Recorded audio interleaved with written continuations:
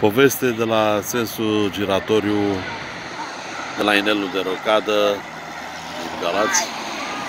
Firește, ornamentele, trecând peste elementul discutabil al prețului, au fost gândite ca atare pentru perioada de iarnă cu zăpadă. Eventual puțin ger care la un moment dat ajută să creeze și cadrul și să dea și un fel de plus strălucire ca atare.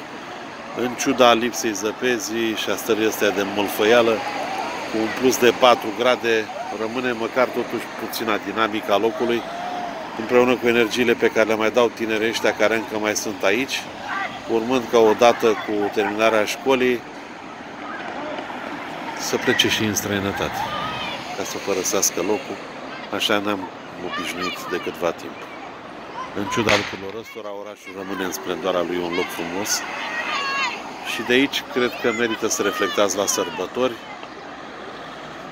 Ceea ce este interesant este, am să fac și o filmare de jos, brăduțul ăsta simbolic este însoțit de o sumedenie de simboluri înconjurătoare, lucru care creează o stare de frumusețe suplimentară.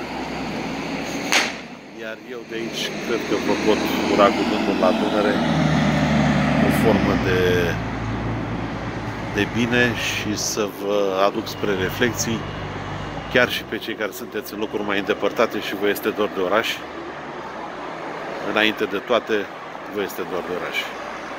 Dar pentru care vă spun ceea ce am văzut scris la postarea unui prieten bun, Cătălin, care întors acum în, în țară